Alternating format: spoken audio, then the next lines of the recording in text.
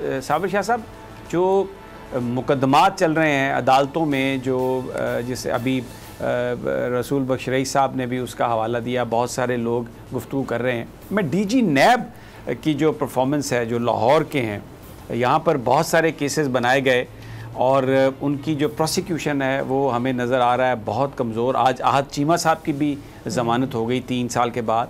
फवाद हसन फवाद की ज़मानत भी हो चुकी।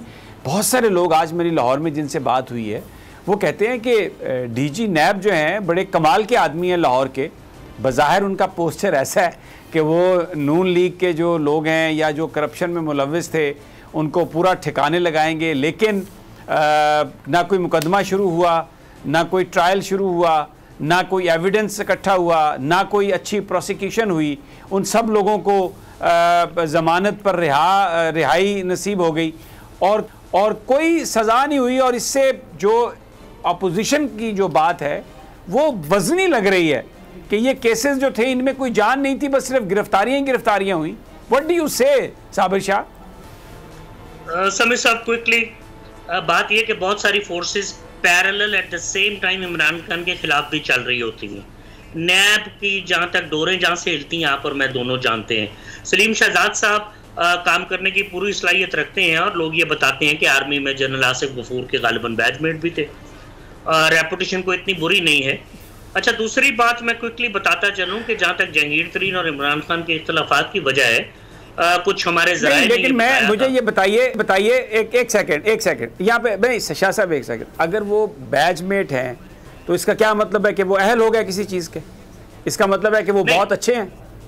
He came on merit, इससे क्या मुराद सपोर्ट उन्हें रही। इससे तो ये इससे तो ये आता है कि फिर इसका मतलब है कि उनको ये उहदा शायद इसलिए दे दिया गया हो।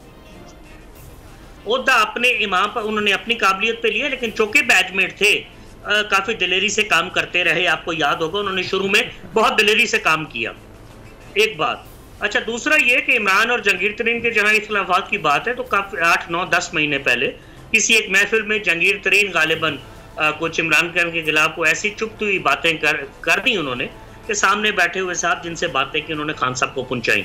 तो ये भी हॉर्सेज माउथ है। तीसरा शहजाद अकबर साहब की परफॉर्मेंस तो बहुत आला है लेकिन पाकिस्तान की एक बहुत बड़ी होटल चेन के मालिक काफ़ी परेशान है क्योंकि उनकी मॉल रोड लाहौर पे अरबों रुपए की ज़मीन है और अगरचे मामला कोर्ट में है, वो समझते हैं कि शहजाद अकबर साहब किसी तरह उसको हथियाने के चक्कर में है। ये इल्ज़ाम हैं।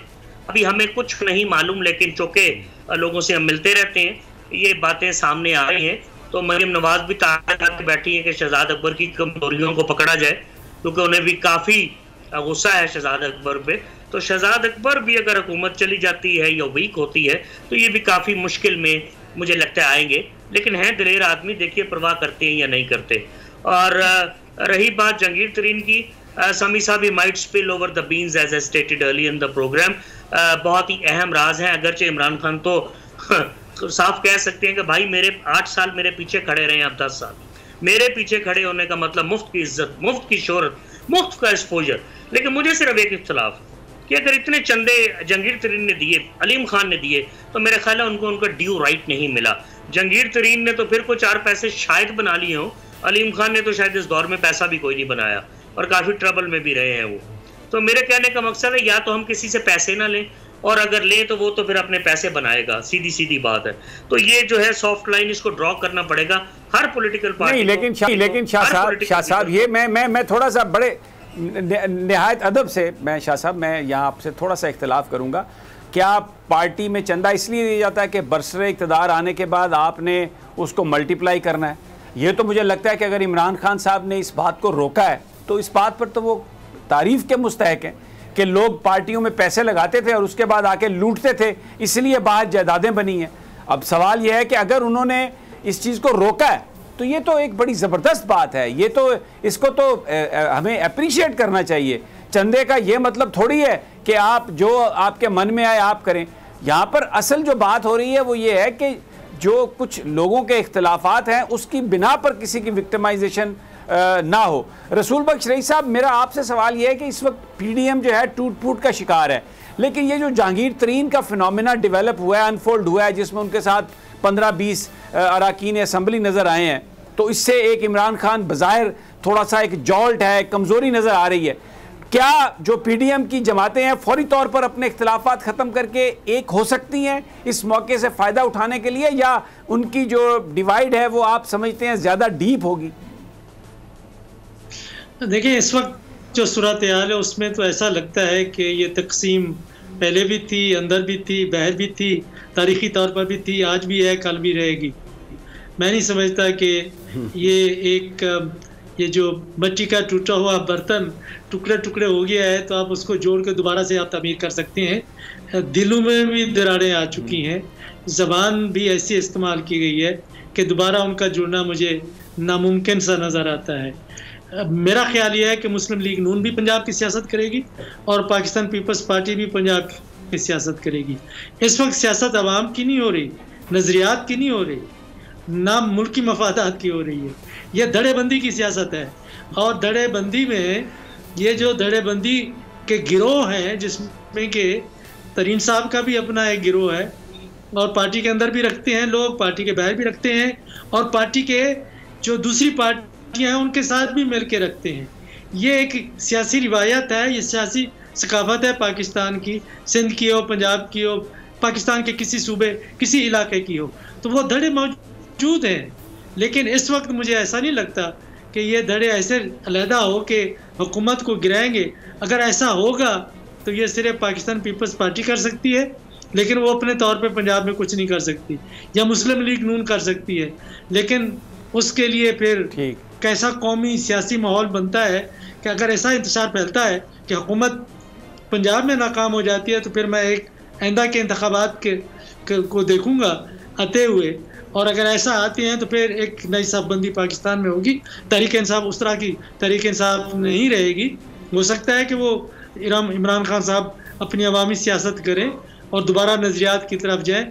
लेकिन जहाँ तक पार्लिमानी निज़ाम के तकाजे हैं, उसमें जो सियासी ख़ानदान है और धड़े बंदियाँ हैं, उनके साथ इतिहाद करने लाजमी होते हैं, वो अब भी हैं और उन्हीं इतिहादों की बुनियाद पर इमरान खान साहब ने हुकूमत बनाई है और आइंदा भी यही हो ठीक हो गया। अच्छा मुर्तज़ा बड़ा आज एक इंपॉर्टेंट कंसल्टेशन थी प्राइम मिनिस्टर की तहरीक लबैक का जो एक इशू है। आ, उस पर के क्या ईद से पहले नामूस रिसालत के हवाले से जो माहा था उसमें फ्रांसीसी सफ़ीर को मुल्क से निकालने के लिए जो करारदाद है वो असम्बली में पेश की जाए। मुझे जो, मैंने जो देखा टीवी पर, वो मुझे लगा कि शायद दूसरी सियासी जमातों से भी इस हवाले से हुकूमत रजू करेगी। आपके पास क्या इन्फॉर्मेशन है कि फ़ैसला क्या हुआ इस हवाले से आज? आज यही फैसला हुआ है जी कि दीगर जो जमातें हैं सियासी, उनसे भी इस मामले पर बात की जाए और कोई यूनानिमस फैसला जो है वो पार्लियामेंट में लाया जाए और तमाम लोग जो हैं ना मुसर वसल्लम पे इकट्ठे हों और इस हवाले से कॉन्सेंसस डेवलप करने के लिए आज की मीटिंग में फ़ैसला कर लिया गया है और जो स्पीकर है कौमी असम्बली, वो मुख्तलफ जमातों के रहनुमाओं से इस हवाले से बातचीत करेंगे। अब देखना ये होगा कि क्या वो फ्रांस के साथ ताल्लुक मनकता करने के हवाले से फ़ैसला करते हैं या वो मज़ीद टाइम जो है वो तहरीक लबैक से आ, मांगते हैं उनसे रिक्वेस्ट करते हैं कि कुछ और वक्त दिया जाए। कंसल्टेशन नहीं हो रही है क्योंकि जो सियासी माहौल है उसमें नज़र नहीं आ रहा कि कंसल्टेशन जो है वो इस मामले पे मुकम्मल तौर पे हो जाएगी। आ, तो ये आज की इस हवाले से सूरत हाल थी जो तहरीक लब्बैक के हवाले से आज जो इजलास हुआ है।